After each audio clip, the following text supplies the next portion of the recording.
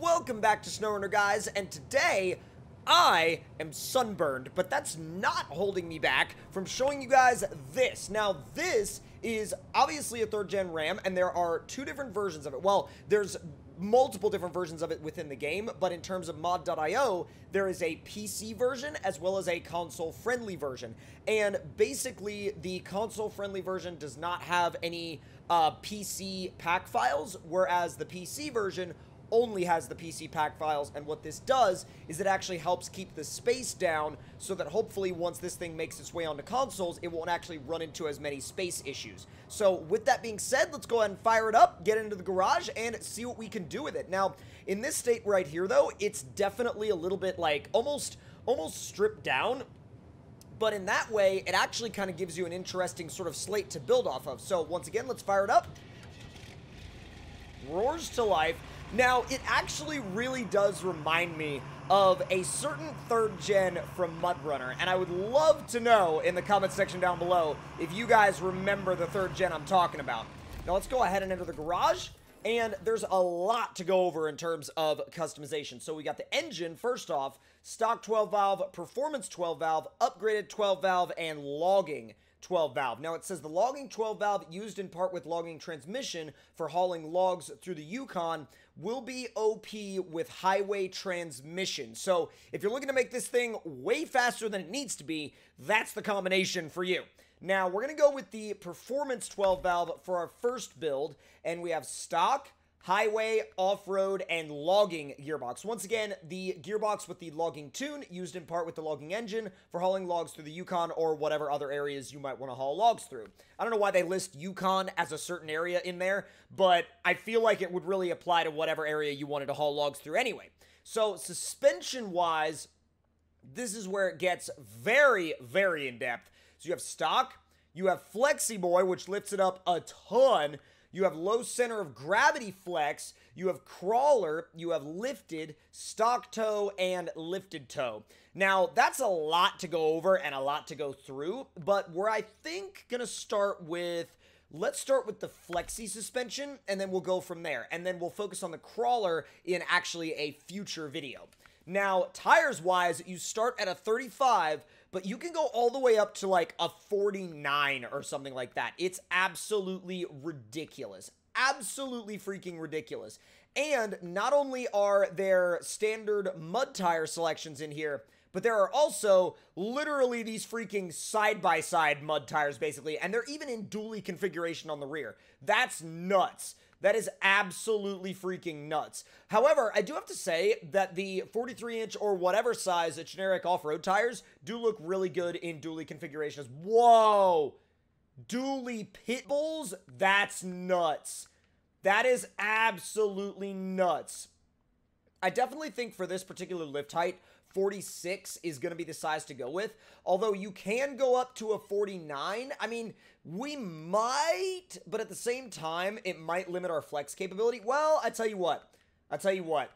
Just to go all out right off the bat, 49 inch dually pit bulls on this thing. This is way more ridiculous than I ever anticipated it being. So we'll put the gooseneck hitch in the back just to plan for the future. And then we have a uncut bed cap as well as a cut bed cap. So if you want to run stacks, you'll actually have holes for the stacks in the bed cap. So we're going to do the dually fenders for sure. And we could do the ladder rack, but I'm not sure if I'm going to do that on this particular build. Definitely one in the future. And then we'll put the tailgate on it. And let's see. Toolbox, bumper weight. Whoa, God. Yeah, the FlexiBoy suspension does not apply well to the bumper weight, but we'll go ahead and put the toolbox in the back. And then from here, we've got our exhaust options.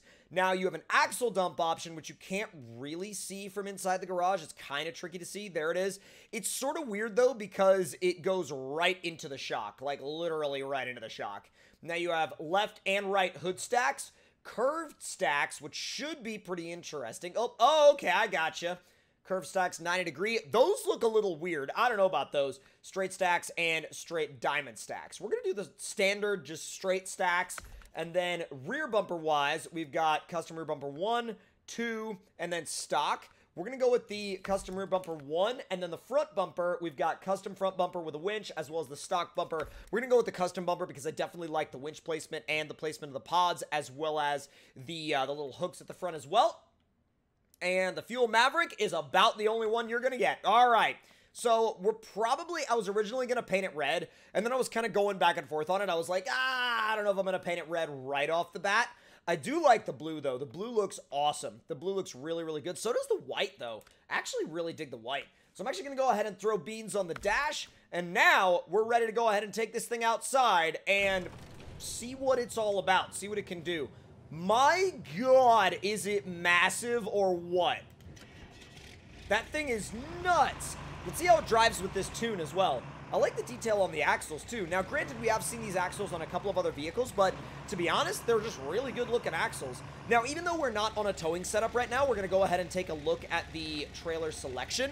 So you've got your Scout flatbed, your 8-slot tag behind, your long gooseneck, which is actually the long log gooseneck, which once again, Red's gooseneck pack now includes logging trailers, and so those really do go hand in hand with this truck if you do want to use them. And then, of course, you have the standard long and short goosenecks, both in standard and lifted configurations, as well as the IX trailers, and really a whole host of trailers that you could do pretty much any any role with. You could play any role you want with this truck. So let's actually go over here and give it a little bit of a flex test. It's a little tippy right now, but I could definitely tell you that with that amount of with that amount of sway in the suspension, it's gonna be it's gonna be good in terms of flex, that's for sure. Ease it on up. Nope. Oh man. Okay, we were just too close to the edge. Do that one more time. Dude, that's not bad at all. And you gotta remember, that's a dually doing that. That's nuts. Now, granted, the tires do clip a little bit because we are using the biggest tires we can put underneath this thing. But really, I think if I was really going to do a full-on crawler build, I'd probably go with the 46s instead of the 49s. I feel like the 49s are a little big. But again, God, it rolls so much coal. That's ridiculous. Like, literally, I can't see where I'm going. But man, does it look so good. It is such an incredibly good-looking truck. Like, with that being said, I think, you know, we have a second gen in SnowRunner, and I think a lot of people were really, really waiting for that third gen, and I think now that we have a third gen, the third gen really does fill that role of like, it's weird. The third gen falls into an interesting place because you see a lot of third gens out on the road still, you know? A lot of the a lot of the second gens, I mean, you still see some, especially you still see some that are clean, but you also see a lot of second gens that are either rusted out or not really used anymore or not really used for towing or for work much. Now, granted, there are some that are still used for work every day, every week, but at the same time, you see more third gens being used out on the road, and I think for that reason, that's why we've been wanting to see a third gen in SnowRunner for a long time, and this definitely, definitely does a great job of filling that void. So let's go ahead and see what this thing does on the hill climb, and go! Yeah, that's nuts. So it just kind of looked at the hill and said, uh, I didn't really see it. I was like, I don't really see a hill there, but all right. You got to be careful with your camera position because it does roll. oh my god, that flex is amazing. Dude, that flex is nuts. You can't really see it from that side, but this side you can really see it. Look at that. That is wild. That is absolutely wild. I, I cannot get over the amount of flex this truck has. Let's do the little rock section real quick. It should do really well. Now, granted, the single rear wheel setup would be a lot better for this, but, I mean, hey, go rock crawling in a dually from time to time, right? Don't worry about it. It's fine. All right, lay some power to it. You know what's really interesting, actually, is it doesn't feel super over the top. Like, it doesn't feel crazy. It actually does feel like it's kind of scrambling for grip a little bit on the rocks, but that adds a little bit of necessary tension to the experience because you really do feel like you have to like really try and put that, you know, put that effort into picking a good line. See how she does in the mud. Yeah, when you throw it in high, it goes. It absolutely goes. Let's do a quick tire change because we're out here. And let's see. Third gen wheels. Let's see. Off-road. Oh, God. I want something dually. something dually. I want dually mud tires, proper dually mud tires, but I don't know. There they are, in 49 inch. Oh my god. Dude, with those skinnies in the front, it should absolutely just dig. It's literally a, a dually mud truck now. There's so many different things you could build with this thing. What? Whoa, that's that's wild. Now, granted, it's not necessarily going to be as fast as, say, for example, Lime's mud trucks, but those are dedicated mud trucks. This is more of a everything all-purpose at all times kind of vehicle. And it lends itself well to that role for sure. How you doing in there, Beans? You doing good, bud? All right, let's ease it on out of the mud. There we go. Although I can definitely tell you from its performance in there, it's probably going to sink completely if we throw it into the pond. The pond, the pond is kind of sketchy. The pond is, is, yeah. The pond is oof. Big oof. Oh my god. Come on. Where are the dualies? I lost the dualies again. Oh, there they are. There they are. Actually, I'm to go with those. Those are the Rockzillas? I'm not sure. They look like them. They'll work. Now let's ease it over to the dips obstacle. Now I think at the dips obstacle, it's going to do just fine. It's going to do great. But the wheelbase may or may not work against it a little bit. Now, granted, when we go to do the bridge jump, we're not sticking with this setup. I know we have the performance engine, but we're going to go for the most OP setup we could do, which is going to be logging engine with the highway transmission.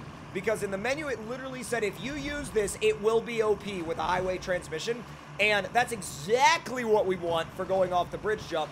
And let me tell you, with these 49-inch tires, the dips obstacle is, like, barely even there for this. All right, here we go. Now, let's see. Gearbox is going to be highway. Engine is going to be logs. We're going to do a quick refresh. And we're also going to refresh the time. And we're going to head out to the bridge jump. This is going to make such short work of the bridge jump. It's going to go it's actually, I was going to say it's definitely going to go over the barrels. It could go into the trees. I've never driven this before, though, on this setup, so I don't know how over the top it's actually going to be. And it could be wild, or it could be, like, right into the barrels themselves. We'll see.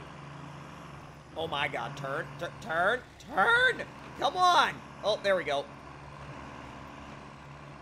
Jeez, lay that power to it.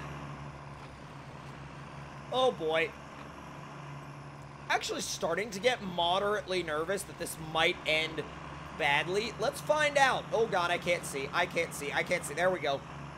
Whoa! Oh, my God. It hit the ground hard enough that the axle went into the ground. Like, I mean, hey, that setup would be great for the racetrack, performance-wise, oh god, oh, we're sinking. Well, I think that's where we're gonna have to end this test. If you enjoyed the video, make sure to let me know your thoughts and opinions in the comments. Hit the like button if you enjoyed, subscribe if you're new, and I'll see you guys next time.